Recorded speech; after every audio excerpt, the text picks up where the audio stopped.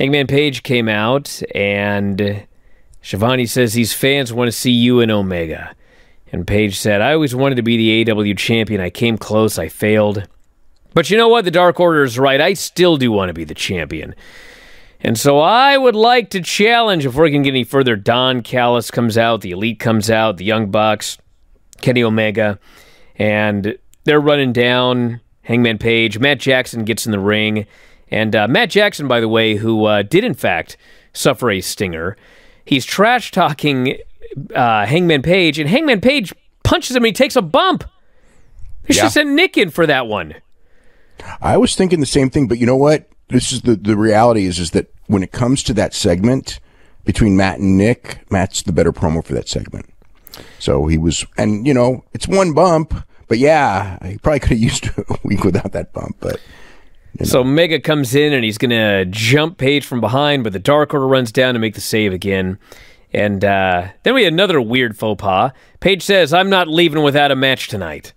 And Omega says, All right, but here's what we're going to do a five on five elimination match. Your guys at Dark Order and the Elite, it's going to be elimination. And when I win this match, when we win this match, actually, what Page says first is when he wins the match, he's going to get his title shot, and the Dark Order are going to get a title shot. And tag then title uh, shot, tag yeah, title against, shot. against the Young Bucks. And then uh, Omega says, fine, but uh, the stipulation on our end is that if, when you guys lose that match, no one's getting a title shot. So Hangman will not be able to challenge Kenny Omega for the title. And so the Dark Order doesn't like this idea, but uh, Hangman Page says, you're on. And then there's no match tonight. So, Nope. and no, no match next week either. no, it'll be down the road at some point. Yeah, it will be. So he did leave without a fight tonight.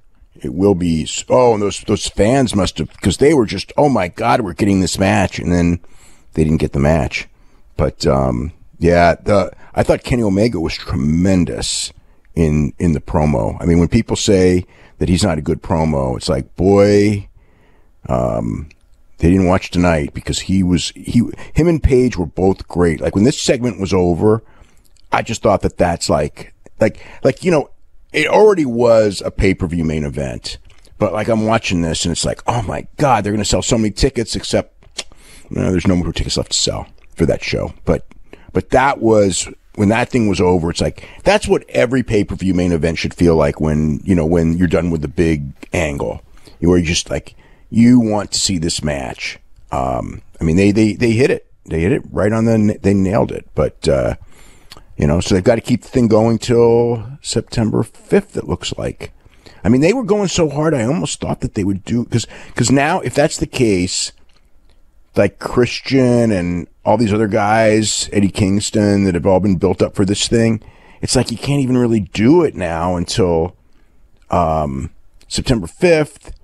And then if they are going to do it, Omega has to win, and I'm not sure Omega beating Page is the right thing. I mean, it's it's it becomes they built up all these matches, and then it's like, are they never going to do them? That's that's kind of I don't like that when you build up matches and you don't do them. So it's going to be interesting how this all um how this all goes down. Hey, if you're a big fan of Wrestling Observer Radio, we got 12,000 episodes of all of our podcasts up at our website, WrestlingObserver.com. If you sign up today, you get access to every single one of them. The 12 to 18 new shows that we do every single week. You can podcast them, listen to them on the road, at work, working out, in the shower, wherever you listen to your podcasts. And also full access to the Wrestling Observer newsletter and archives. So if you love what you hear, head to WrestlingObserver.com. 12,000 audio shows at your fingertips.